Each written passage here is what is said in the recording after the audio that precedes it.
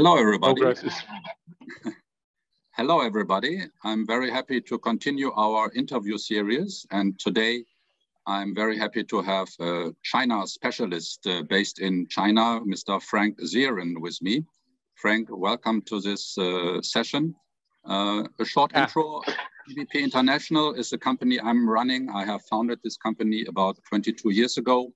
We are consulting and cooperating with European companies on their way to Asia, and we try and help them to solve their problems, whatever that is, uh, whether it's uh, management or interim assignments, restructuring, procurement. But I don't want to do a sales talk here. I want to talk with Frank. Frank, very welcome to this uh, session. Maybe you can start yourself also with a one minute pitch, uh, who you are, what you have been doing, what your focus is before we go into the, into the discussion. It's actually very simple. I arrived in uh, summer uh, 1994 uh, in Beijing. I only wanted to stay a few months. And since then, I'm, I'm living in, um, in China I'm a journalist, book author, and I'm specialized on China. And um, now I'm in Germany, kind of a China specialist because I'm long enough in the country, hanging around in the country. And I'm still curious about all these new developments. And I'm pretty sure that the next 20 years will be even more spectacular than the last 20 years. So um, I, I'm going to stay. Excellent.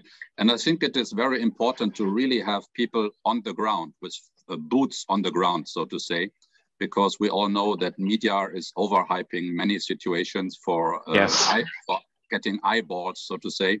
So very often, it doesn't. Very often, yeah, it doesn't have to be boots. It can be flip flops as well. well, you are you're in a privileged situation because the weather is much nicer in these days, you know. yes.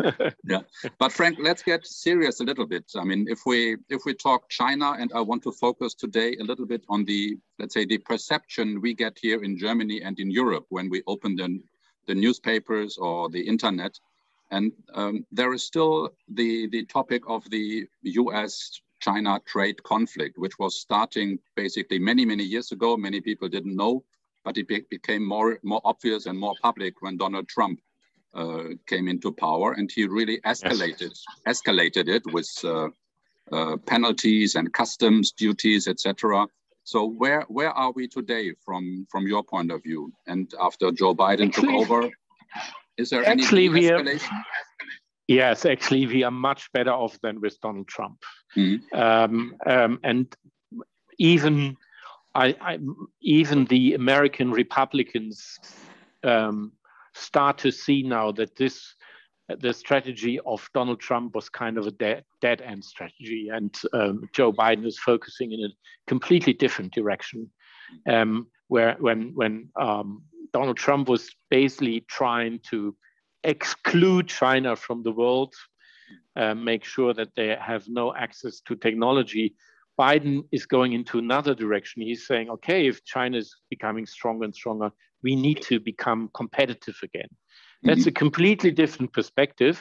That does not mean that um, the tension is going to go away or that all, tra- all tariff barriers will fall um, next month when they meet at uh, on a G20 level. But it's much more uh, relaxed than it was um, during um, uh, time, uh, the time of uh, President uh, um, Trump. And you can see already the way things are changing. Joe Biden is clearly saying that he's not interested in a Cold War. Um, um, he, he allowed end of August uh, um, uh, to the South Chinese technology enterprise Huawei to buy computer chips even if it's generally uh, forbidden. But uh, this was a deal worth uh, several hundred million US dollars, so quite a big deal. So you, you see his more flexible approach.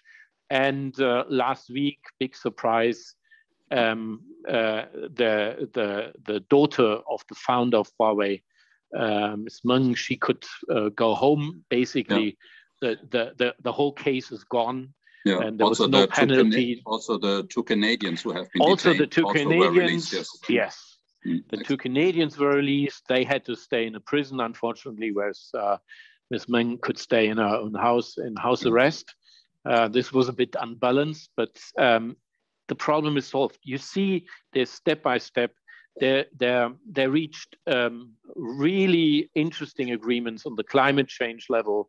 Mm. John Kerry was here uh, three weeks ago, and after the visit of John Kerry, uh, Joe Biden and President Xi Jinping were talking to each other on the phone. And after that, Xi Jinping announced that they're not going to go, that they're not going to say uh, uh, sell uh, um, coal power plants to um, um, one belt, one road initiative yeah. countries anymore. Yeah. Um, that's a very big step, and that's quite painful for um, China because it's it was quite a uh, big business, for, business them, for them. Yeah. Yes, but so, that, that shows that both sides are able to um, to work with, with, each other, despite the the uh, the biggest differences you still have, and the uh, and the differences will probably stay big, and in some areas they will even become bigger, um, mm. because China will become stronger and stronger, and relatively the United States are going to lose power, and this is. Um, normally this is not happening without frictions. Normally, in former times, it would be a war. Mm. And lucky us, both countries are so civilized that it's actually quite unlikely that uh, this power fight will fall through a war, but rather through a more civilized way of competition, through technology competition. Well, that's through, interesting. Through economic, yes, through economics. Well, Mm. Well, that's a very, let's say, positive statement, and I'm very happy to yes. hear to hear your judgment that we are having a phase of, let's say, de-escalation, so to say, yes. and yes. are moving into the right direction. But as you say, China will certainly not go away, and we have to face the fact that China is going to stay there as a more and more competitive competitor uh, in all and, kinds of areas. And we tend to forget that China is already the second biggest um, um, uh, uh, economy in the world, or even if you um, if you if you count in PPP terms, it's even the biggest already. But um, the per capita income is still lower than Romania. Yeah, and that that, that tells us something about um, how much development, how much growth, potential growth, because you're you can't say for sure how China is going to develop, but the potential growth is still very, very high. And all the innovations we see right now coming out of China, this is only only the beginning. This is only the warming up yeah. of a country which used to be a very, very innovative country. It then had uh, a lot of trouble for about 150 years, and now basically is getting back to to no, to the normal uh, um, way of developments in its very, history. Yeah, you make a very interesting point, and that's also what we always encounter. You know, you you really have to see the historical perspective of yes. China if you want yes. to understand where China is going, uh, where China wants to go. You know? And for them, yeah. it doesn't matter yeah. whether we have to wait one, five, or ten years the general direction is, for me, it's very clear, you know, and uh, yes, China is not going to go away, you know. And from from a Western perspective, the the Chinese politics right now um, look quite strange because on one side, they tend to very very strong control. They're enforcing the control and the surveillance. On mm. the other side, they are enforcing innovation. Yeah. And actually, actually, from our perspective, you can't have it both Con more control and more innovation. Mm. But actually, in, uh, from a Chinese point of view, you can have it actually for quite a while. And um, that they both focusing on these two um, areas of politics, uh, you can easily explain if you look at the history again. Because in the 19th century, the Chinese government um, the emperors lost control because they missed out in a huge innovation innovation wave we can say uh, this was the industrial revolution they were basically too stubborn too arrogant to understand the importance of this innovation movement at the other end of the world. Yeah. And actually, they lost control over the country because they haven't been innovative enough. Then the economy went down. And actually, now it's the other way around. Now we are in Europe, uh, probably too stubborn and too arrogant to uh, see the importance of the innovation coming from Asia. And hopefully, we'll wake up soon enough and then um, basically uh, try to face this competition and try a realistic approach um, about this new player coming up yeah. and the multipolarian world order. Because one thing is clear um, these centuries of um, the minority of the West setting the rules for the majority of the world, this period is actually over. We don't know how fast it is over, but the direction is 100% clear. We are facing a multipolarian world order where the West is only one part of one of the decisive groups. Mm. Um, and there will be a lot of power moving to Asia and especially in Asia to, to China, mm. but not only to China.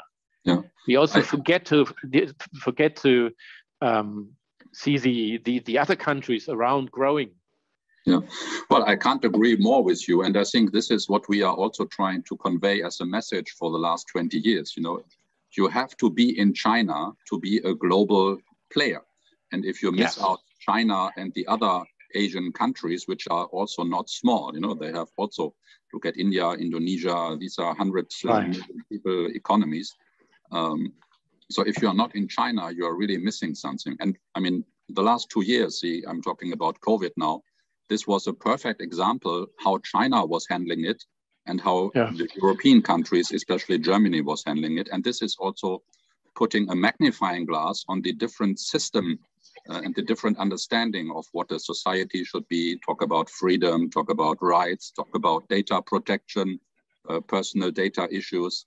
And this cannot be solved. You know, there is no either or. And uh, China is doing it her way, and uh, Germany did uh, the German way uh, and you see the results. You know, so and uh, you have written yeah, a book totally. about uh, yeah. You have I, written a book I totally about, agree. Yeah, yeah. You have written a book about Shenzhen, you know, being the new Silicon Valley. And I have been to Shenzhen myself before COVID broke out. And it's just mind boggling, you know, and I can only yes tell people, look, if you really want to talk about China, spend five days in Shenzhen and then, then you come and talk again, you know. So, mm. and uh, the, yes, dominance, sure. the dominance of the Chinese uh, tech companies in China is now also being regulated, you know, because the government also says, look, uh, it can't go that way forever. So we have to put some strict rules into it so that they comply with our uh, policies and directives. Yeah? How do you judge uh, this this move by the Chinese government to make a tighter control on the tech companies? Basically the way they're doing is uh, it's a bit bumpy um, it's uh, probably not so much on the elegant side but probably it's the same way like a father with a bunch of kids saying now next week no tv and at the end of the day it's that it's only one day of uh, um, yeah. no tv so they, they need to raise this voice in this big country but the way they did it was not really uh, yeah. elegant as i said but generally, I agree um, to the point of view that those big tech players need some rules. Mm-hmm. And and uh, um, actually, uh, China should have implemented these rules earlier. Mm-hmm. And and uh, very very important is that these rules are level level playing field. That these rules are the same for every player. Mm-hmm. But basically, with these uh, new rules, China is making sure that that more smaller players can compete. Before it was um, basically a quite um, bad development into a direction of a monopoly where one player or two players were so strong that they basically bought all the new players off the market and then they decided what to do with them yeah. um, either let them die or make them grow mm. so this is not possible anymore and then um, the the second thing is that they had some business models which were able to basically derail the whole Chinese financial system. I talk about Ant Financial and the micro credit system, which was uh, for the uh, quite dangerous for the stability of the country. Um, and the, the Chinese government basically want to avoid a situation like in 2008, 2009 in America, yeah. um, where um, some ruthless banks uh, basically uh, created the collapse of the whole finance system. Yeah. So, a, so talking, um, talking, about talking about collapse, yeah. uh, there are two yes. interesting uh, subjects coming to my mind. One is the the recent ban on the cryptocurrencies, which was uh, yeah. decided last week. That sent a big yes. Uh, shockwave, and I think the rationale behind it you just described. You know, China just wants to keep control. That things are yes. not able to move out of uh, control and management and supervision by by the ruling parties. And the second one is a topic you also have been addressing in the media. This is the, the property company uh, Evergrande, which is uh, yes. maybe collapsing. Uh, maybe you can uh, say a few words about the crypto ban and uh, the property scandal with Evergrande. The, the cryptocurrencies, the, the, the story is very simple. Uh, with these cryptocurrencies, it was able to bring money out of the country. Mm. And uh, um, uh, the Chinese government uh, wants to have control how much money is leaving the country. Why? Because they saw in the Soviet Union and the and then in Russia how uh, billions and billions left the country and the, the government couldn't couldn't do anything. Mm. So therefore, um, they um, want tight controls about uh, how much money is getting in, how much money is getting out. And if you have the cryptocurrencies, you, you don't have any control anymore. That's mm. a hmm. very simple reason, understandable. And um, actually, because this is uh, very, very important to keep a um, economy stable, um, that you make sure that there's no overlending or, um, or, or over borrowing abroad. And then uh, something happened like in the Asian crisis, uh, 1997, where uh, many Asian countries were over borrowing in the US dollar, but producing in their, in their local currency. And suddenly um, uh, the foreigners wanted their money back and then they couldn't yeah. pay because the currencies went down.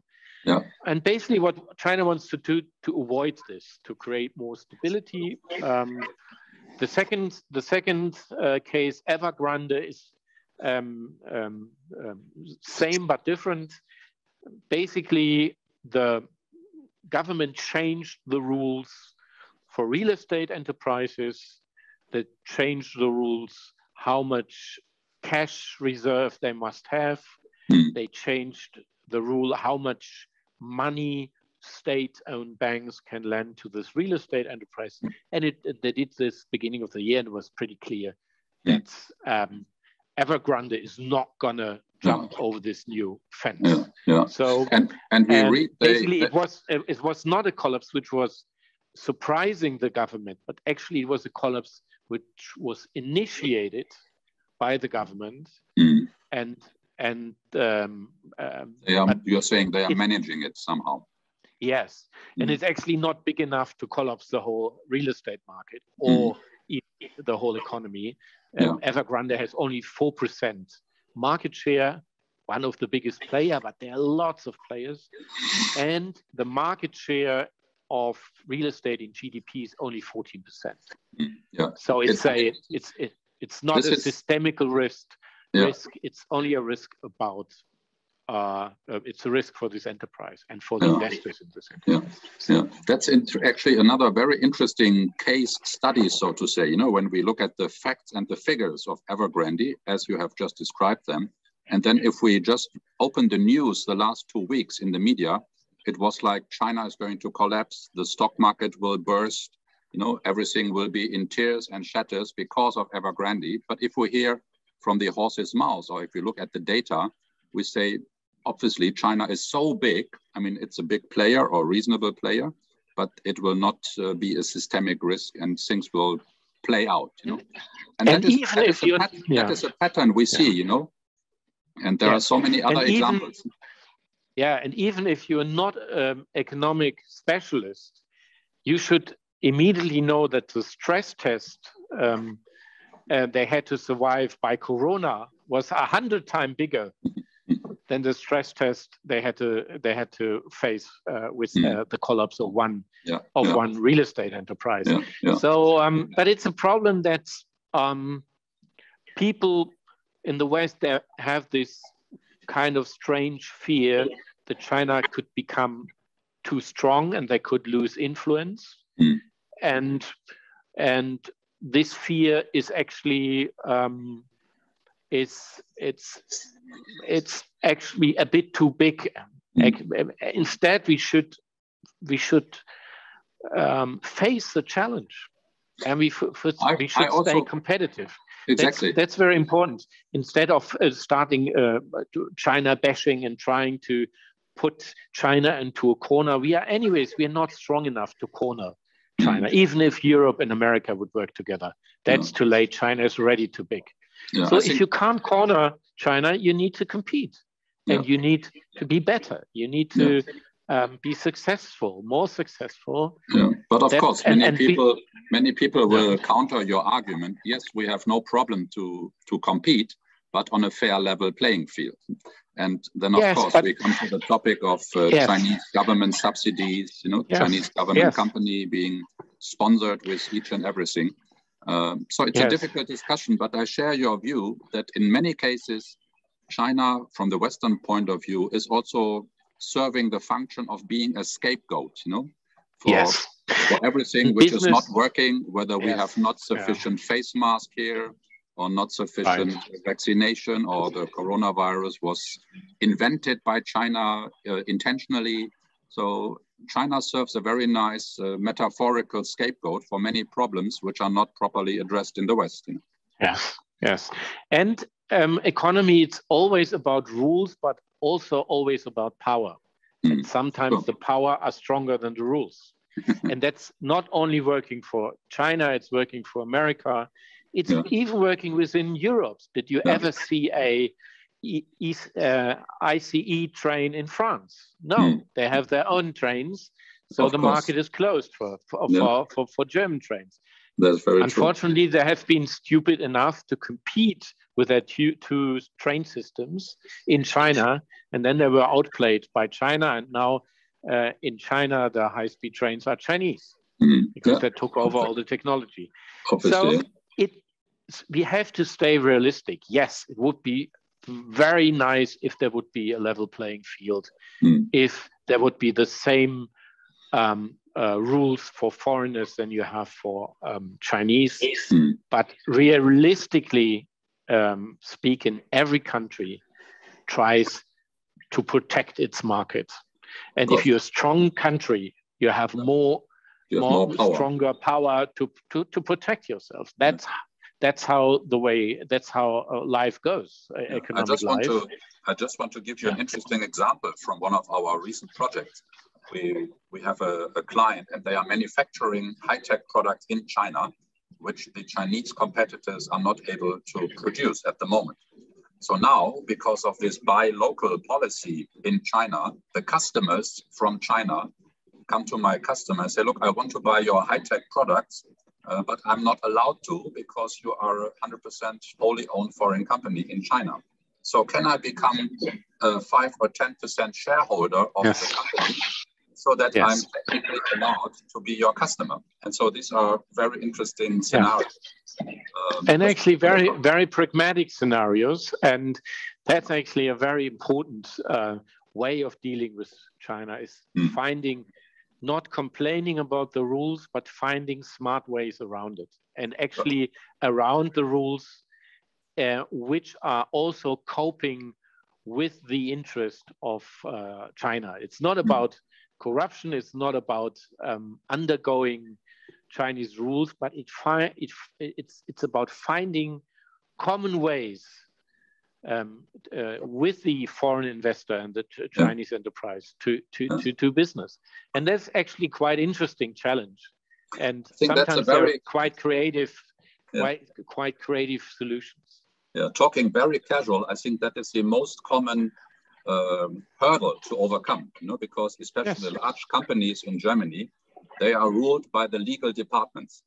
And uh, yes. if, if, the rules are not properly in place and not accepted by the legal uh, security check, then nothing will happen. Whereas yes. you say, from your experience, and I, cannot agree more, the agents in general say, okay, I like you, I have a drink with you, let's do something tomorrow. And we will find yes. out what is the best way forward as we go along. But this, yes. this is not a good uh, business plan for any German company, you know. Yes, yes. And it's actually, there are good ways to bypass the rules with, without becoming illegal. Mm. Yeah. yeah, that's a very important, that's of a course. very important game yeah, uh, yeah. to be uh, to, to to stay successful in China, and that's very complicated to explain to a German trained lawyer, uh, exactly. um, which is not familiar that. with this kind of way. Yeah. And you can't write it down, you know, you can't produce a handbook, yes. you know, because every case yes. is very different. Yes. Yeah. I'd like to change subject a little bit um, because one of the other main topics which we see in the news is the China Belt and Road Initiative, with many Yes. Any reports about what is going right? What are the impacts? Is it a tool for new colonization efforts? Because obviously the bad examples are being shown, uh, like China being bribing the president and then taking over the harbors and the airports and the gold mines and basically uh, extracting all assets from a very weak country. Um, but we also hear news now that there is a new level where we say it's uh, not only a physical digital road, uh, digital, not only a physical Belt and Road Initiative, but also a digital Belt and Road Initiative, where everything is going to be connected via the, the internet, via e-platforms. Um, what's your what's your latest take on that one? Uh, that's a very um, that's a very wide uh, wide field. So um, let, tell me, me on me, what should I me, focus? Let me focus. what is how should Germany address the China initiative of the digital belt and road now, which is like a version 2.0 of the first phase? Because I think honestly, the first phase is more or less done. You know, being physical, being in terms of building railway lines. We should join it. We, we should join it if it's in our interest. Mm. We should implement our ideas of um, rules of this game, yeah. but we should sit and discuss uh, discuss with the Chinese. We should not uh, lean back and criticize. Mm. If we don't like something, then let's sit together with the Chinese and make it better, mm. or yeah. Uh, propose alternatives to the uh, countries which are involved. Yeah. Um, I, I... If the countries have more than one choice, that's much better for these countries. Um, if they only have one choice and we are standing at the sideline and complaining. Yeah. So exactly. I think yeah. we meet we, we need to we need to um, start to get on the ground and we mm-hmm. need to stop to talk theoretically about this kind of initiative what does it mean and what are the risks and what mm. are the disadvantages yeah. we need projects we need cooperation we need discussions mm. that's very very important yeah i tell you my my little share of experience because the big difference is the china belt and road initiative was about physical investment you know there is a country mm-hmm. say in africa china comes along and i built you a new airport i built you a new harbor here is 500 million dollars and 5000 workers and you get it ready in two years from now uh, can you think of any German or even European company who is able and willing to do the same? I can't. They want to sell their equipment. And if there's no paying customers, they go somewhere else. I think that is a, yes. a, a short summary about the totally different mindset, the, the, the totally different uh, concept of minds, uh, what this means. But I mean, we can talk for, for hours about this. Uh, let's uh, jump a little bit to more the, the German perspective on how Germany is dealing in and with China. And uh, one of the key figures is stepping down now. As you know, we will have a chancellor uh, who is not uh, called Angela Merkel. And uh, I'm sure hmm. China has been observing very closely the election results and they are preparing their diplomatic mm-hmm. circles for whoever is running the new government. Um, what's a what's a quick take of the Chinese reaction to the German election result and the potential outcome of a of a coalition? The problem is um, the results are not really clear enough to talk about it. It's uh, basically we don't know if uh, um, the chancellor will come from the socialist or from the conservative party, uh, which, which, is the party of Angela Merkel. Um, that's all open. We don't know uh, the real strength of the smaller coalition partners. We see now recently that they start to work together, the Liberals and the Green Party. Um, if they unify, they are much stronger. But I personally, I have no idea about the outcome of these elections, and probably it will take quite a while yeah. um, until we know who will be the next chancellor. Mm. I, I think from a China perspective, both possible uh, uh, solutions, um, Mr. Scholz from the Social Democrats and um, Mr. Laschet from the Conservative Party, they are basically known for a quite pragmatic, mm. um, realistic approach um, towards China. And um, the reason behind it that uh, the German economy and the Chinese economy are uh, quite deeply interlinked. Mm. And so um, you basically need a pragmatic approach. But that's actually all right now, uh, one can say um, because um, we, we, we, we don't know uh, which role China is going to play in the uh, coalition negotiations. Uh, that's far too early. Yeah, I think that is also a result of, let's say, the campaign of the last two, or three months. I mean, we are kind of, I call ourselves a little bit more insider than the average uh, observer because you are living there and dealing with Asia for many years. But I have not heard the name of how do we deal with Asia and China during the election campaign. And the, the importance of that relationship is, to me, not visible, uh, even though it should be. Ah, um, I think the reason, the... yes, I think the reason it was not mentioned so often, it was actually mentioned, but not so often, is that it's for a politician in a um, election campaign Mm. It's a it's a minefield actually. Yeah, and because China, if you China is not voting. Yes, China is not voting, and if you're too if you're too tough, uh, then the business is not happy. If you're yeah. too soft, um, um, the civil society is not happy.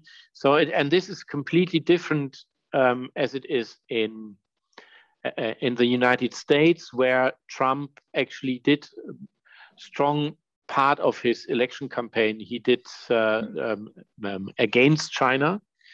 Um, but we are not in a superpower position, so we are not. Uh, the fear of losing our superpower pos position is not as big because we are not a superpower.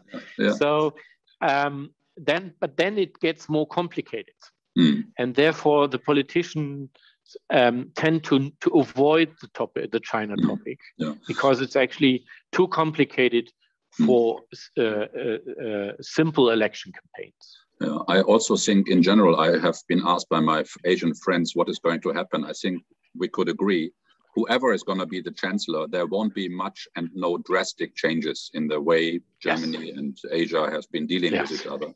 And I yes. think that is true for all countries in Asia. Germany is going to stay a stable and reliable partner. We honor our commitments and contracts. So I don't see any drastic changes coming, whoever is going to run the government. Yeah. One big problem we are facing with the elections in France, hmm. because if, if, there's a little chance that the right wing party is taking over, Le Pen, hmm. the daughter, and they um, they they definitely will have a different approach. Hmm. And then um, the problem is uh, how China politics are going to develop on the European level. Because for Europe, very it's very very important that France and Germany agree on each other, and um, well, and if they are if if they if this is not working anymore, this will be a bigger um, a, a bigger problem. Not, but not so, only um, for China, for the whole of Europe. I think that will cause a big yes, uh, conflict. Yes, yeah. but also for, for, for the position for, for Germany within Europe will be more complicated. Definitely. Because uh, the general position now uh, uh, between Macron and Merkel is uh, pretty similar. Mm. So they agreed, uh, for example, to put through the investment agreement on European level. They do agree that sanctions are probably not the most uh, smart method to make sure that China is doing what we want, mm. um, and so on and so on. Um, so, uh, therefore, we need to wait until um, March after the election in France, and if the elections going um, in favor, ending in favor of mm. Macron, and then we would have either Scholz or Laschet, and it would be quite stable. Yeah. Um, yeah. Um, yeah. I mean, now we are talking about the, the general level of, let's say, the, the, the government, the heads of government, uh, diplomatic relation, how are the policies aligned or uh, adjusted. Um, that is all important and, and good to talk about. But let's break it down a little bit on the uh, the business level of the actual corporation. And we have seen a lot of, let's say, as an example, Chinese investments into Europe, especially Germany. They are going down now the last uh, two, three years for a number of reasons. But do you have hands-off, hands-on experience where you talk to managers from Chinese investors who acquired a company in Europe or uh, even in Germany? What is their take? Is it working? I mean, we see many cases where we have very good. Yes, I know. Where I, uh, it, the relationship is going sore and having tensions. What's what's your experience with the feedback you get? At, the end, it's not so much about the countries, but uh, the, the, it's about the human beings doing business. Business is That's a very people. important. Yeah. For example. Um, um, um, uh, um, there's there's some joint ventures. The uh, Chinese on the western side they have different ideas. They're sleeping in the same bed, but they have different dreams. Then it's difficult to work together. There are others that work very well because um, um, the German, uh, probably hidden champion, knows on the long run they cannot succeed without cooperating with China. So then they decide to find a Chinese partner who's helping them uh, to enter the or to develop the Chinese market. So um, there are no general rules, but you can say there's one trend. Um, it's very unlikely that a Chinese enterprise is buying a German enterprise and then taking over all the intellectual property and move everything to China. That the normal, the, yes, the normal way. way is Yes, the normal way is they buy a German enterprise because they uh, are impressed by the German innovation, mm. by the German engineers, the way they do it. So, and it would be stupid to move these engineers to China. You, you wouldn't even be able to move them to China against their will. So um, that's actually a fear which is uh, not very realistic. Normally, if they invest, they're gonna even they're gonna expand in Europe because they also need the uh, sales network. Exactly. They need yeah. the marketing experience. They need the engineers. They need even need um, the production know-how in Europe and not back in China. Mm-hmm. But do you see that there will be a revival of Chinese outbound investments into Europe? Because I mean, we see quite some drastic declines uh, from the peaks. Uh, yes. Um, or will Basically, China focus on their home market and the Asian, Asian neighbors in the ASEAN region as an alternative? Basically, the yes, basically it was a different um, period of time when President Xi Jinping was saying, "Now, um, dear Chinese enterprise, go and conquer the world." Mm. So they all went out and they all took lots of money out of the country and there were not so many results. The results were a bit disappointing. So therefore, Xi Jinping was saying, no, that's not the way I thought about it. Um, so please bring your money back. And we should only invest in strategically important industries probably uh, where it's too expensive or it takes too much time or it's too small to build up their own industry. And um, on the other side, um, the uh, Chinese politicians decided to strengthen to strengthen their own research and development, mm. saying, "Why should we buy a German enterprise? Let's invest five years, a lot of money. Let's yeah. probably let's probably buy some of the best engineers, mm. and then let's build it up ourselves." I mean, that's that a, is... that's a different perspective, but still, if you have a very technology intensive and very specialized enterprise in Germany, uh, the Chinese uh, um, would still uh, be interested in, in, in buying it because it probably it's less mafan, you say in China, it's less trouble um, to just buy these bits of know-how than to develop it yourself. Yeah, yeah. Um, you mentioned a very interesting point, and that is, let's say, the level of technology or the level of competitiveness in the high-tech uh, demanding uh, industry sectors. And we see that in many of our studies that over, let's say, the last 20 years, there's a very clear pattern. You know, that uh, initially the Chinese goods were only low quality and very cheap. Uh, so the German companies were not really concerned because they're saying you are comparing apples to bananas. Uh, and now yes, we yes. see that especially in the, let's say, the second tier economies, the Chinese competitors are taking most of the market shares because the technology gap is not so big anymore. The quality is yeah. much, much better. But still, the price is uh, half the price of the German machine or the technology. And this is and a real Chinese, problem. Yes. And the Chinese producers have a, a, a, bigger advantage. They know their customers much better. And yeah. um, like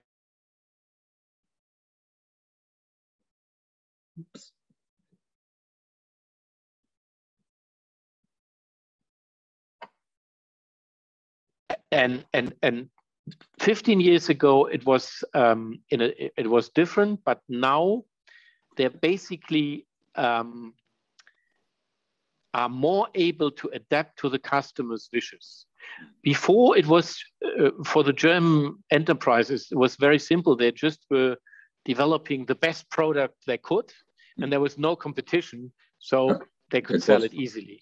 Exactly. But now, but now there's one example of a, a three thousand four hundred dollar uh, e-car, which um, um, which was was developed by Americans, by G General Motors, and by Chinese, and that's actually the most successful car in China, mm. because it's a very small four-seater, smart-like car. And actually the idea is the additional idea, idea was the smart. Mm. But uh, the, the founder of, of, of, of Smart, Mr. Hayek, he actually wanted a cheap um, city electric city car. But then he cooperated with Daimler and they wanted to have a small, expensive, um, uh, um, um normal engine car. Yeah. So, and and the smart, smart lost about 4 billion over the years. Oh, yeah, it's a good and, case study. And, and it's a, yes, and it's about focusing. What do the con consumers want? Mm. And uh,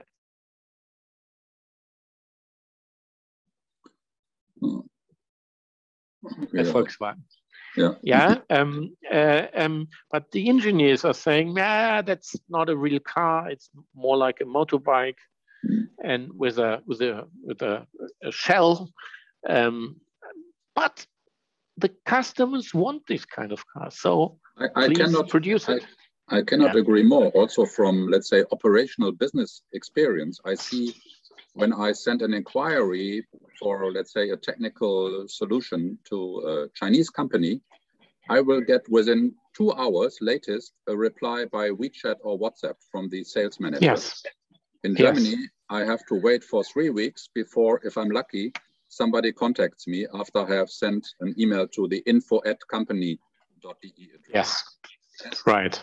I mean, it's I use drastic words. Uh, many German companies are sleeping. You know, they are either they are just too busy and they have a huge order backlog they are working on.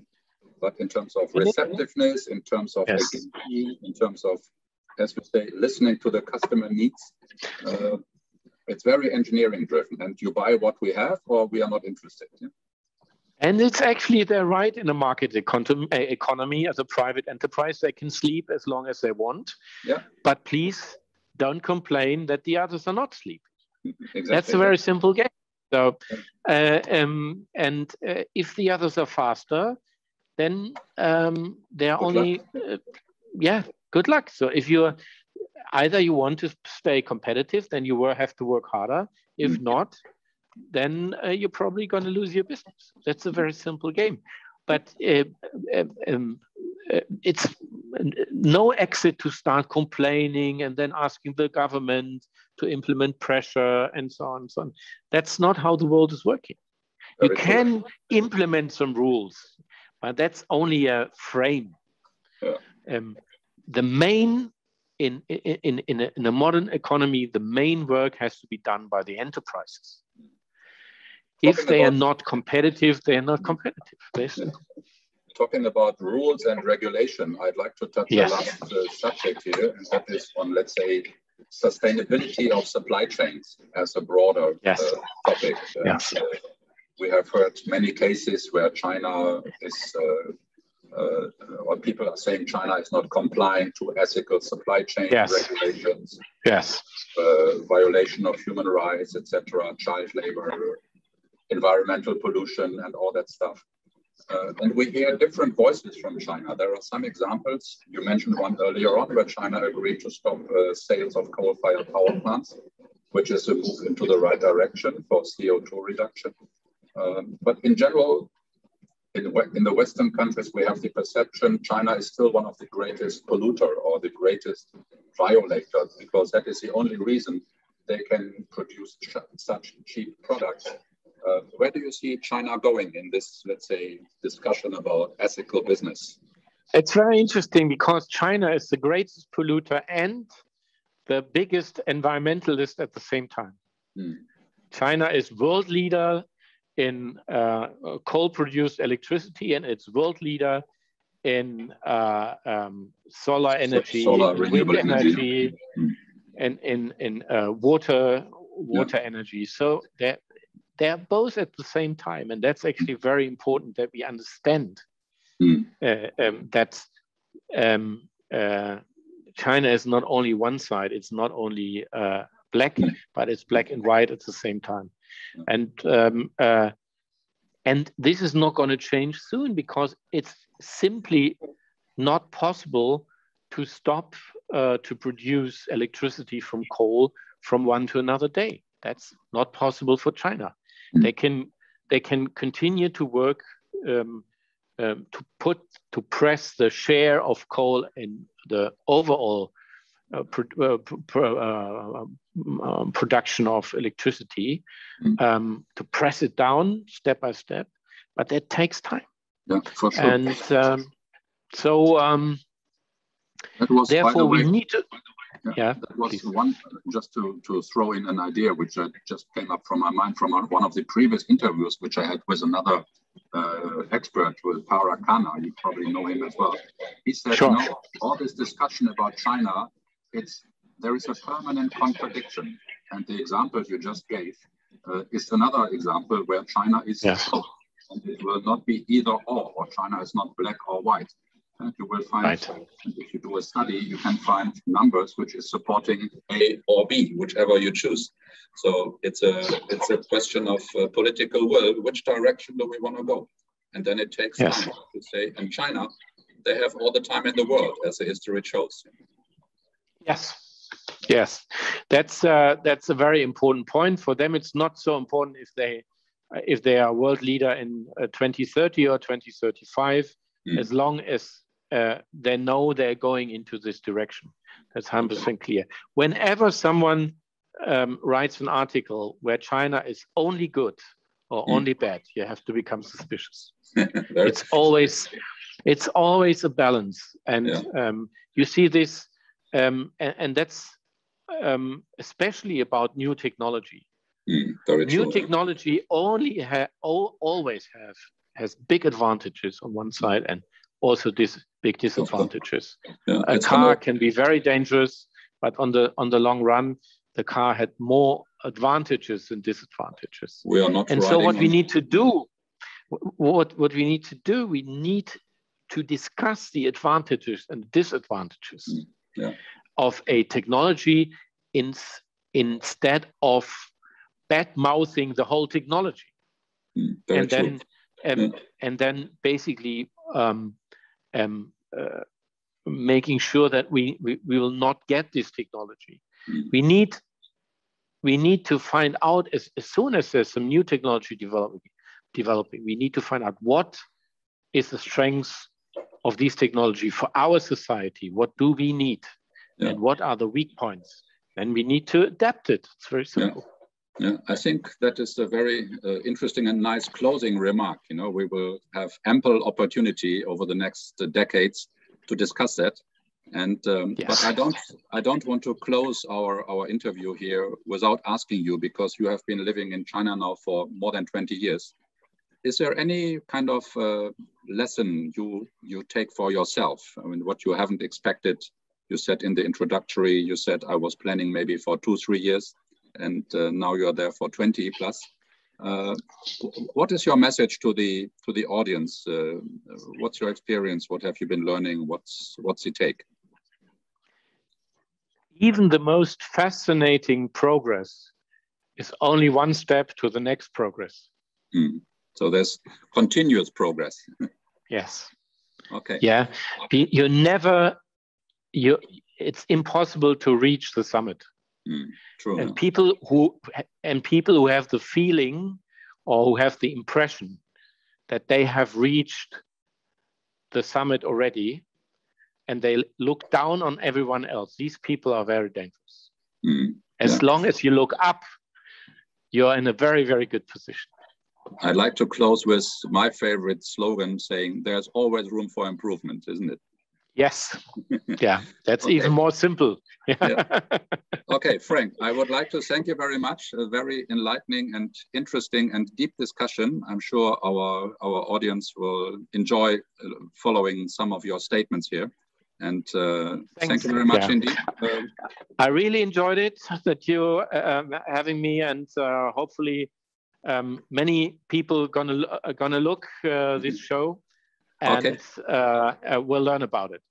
Okay, thank you very much. Bye-bye. Bye.